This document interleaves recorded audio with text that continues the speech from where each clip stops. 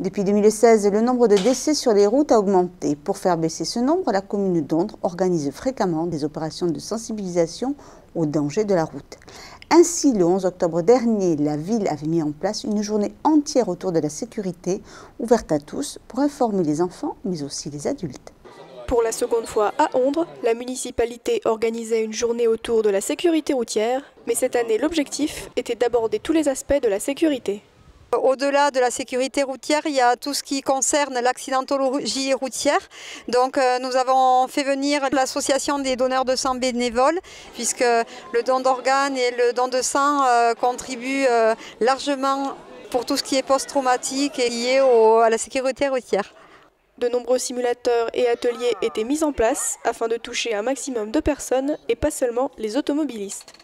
On a derrière nous la piste d'éducation routière euh, qui euh, effectivement permet aux élèves euh, d'expérimenter le vélo, les limites du freinage, les distances de sécurité, les obstacles. Il y a également la sensibilisation aux gestes de premier secours, l'utilisation du défibrillateur semi-automatique. C'est important quand même que les enfants sachent comment s'en servir.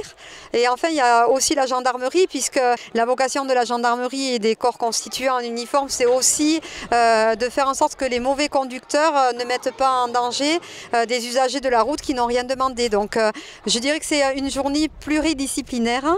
On a vu comment réagir quand quelqu'un ne respire plus.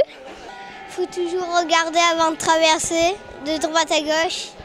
On a regardé qu'est-ce que ça fait, que ça fait quand on boit trop d'alcool. Si le but était de sensibiliser les enfants, il était aussi de rappeler aux adultes les bases du comportement sur la route. Ce n'est pas la route qui tue, c'est le comportement humain. Et à travers toutes ces actions de sensibilisation, eh ben, on montre que c'est le comportement humain qui est à l'origine d'accidents, qui est à l'origine de la mort sur les routes. Cette journée est dédiée essentiellement au public euh, euh, des, scolaires, euh, mais aussi à leurs parents, puisque les scolaires, ce sont les conducteurs de demain. la martothérapie, il n'y a que ça d'efficace en matière de sécurité routière, et donc dès le plus jeune âge, dès la maternelle sur Ondre, on participe à les éduquer aux dangers de la route.